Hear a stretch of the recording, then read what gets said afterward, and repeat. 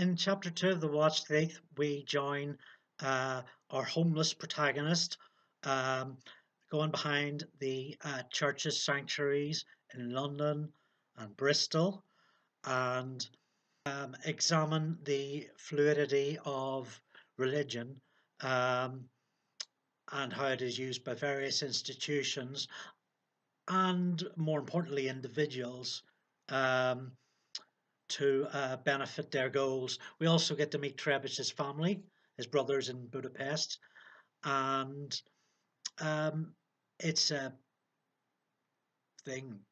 Um, andy-luke.com, also on Patreon.